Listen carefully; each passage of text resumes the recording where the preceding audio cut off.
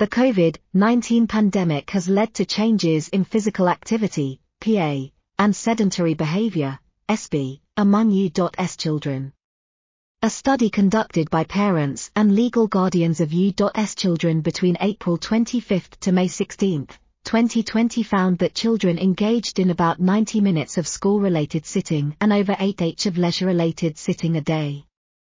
The most common physical activities during the early COVID-19 period were free play unstructured activity, running around, tag, 90% of children, and going for a walk, 55% of children.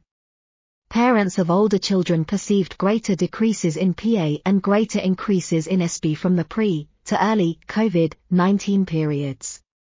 Children were more likely to perform PA at home indoors or on neighborhood streets during the early versus pre-COVID-19 periods.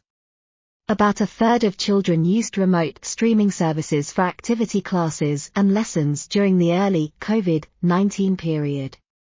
The study suggests that short-term changes in PA and SB may become permanently entrenched, leading to increased risk of obesity, diabetes, and cardiovascular disease in children.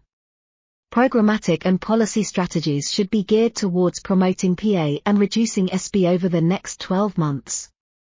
This article was authored by Genevieve F. Dunton, Bridgette Do, and Shirlene D. Wang. We are RTCL.TV, links in the description below.